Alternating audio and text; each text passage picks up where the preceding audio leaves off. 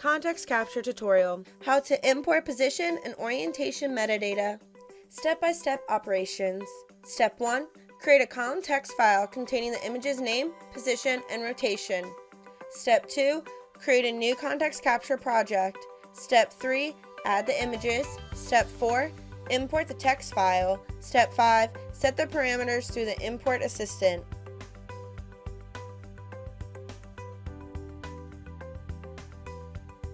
Create a column text file containing images ID, XYZ coordinates, omega, phi, kappa rotation angles.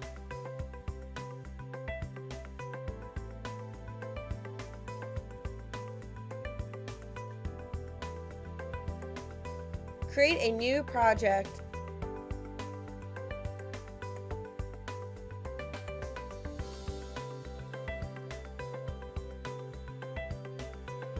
Import the photographs.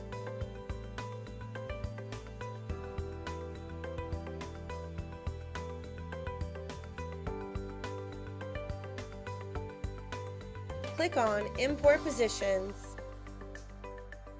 Select your column text file.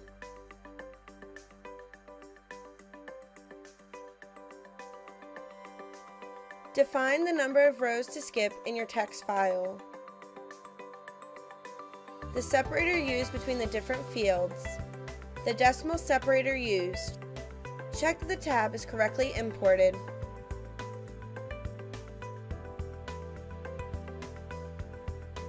Define the spatial reference system. Tick the import rotation box if you have available data.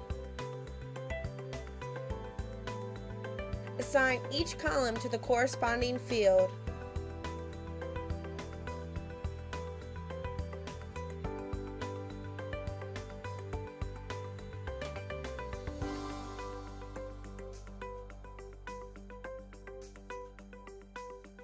Position and rotation of each photo is known.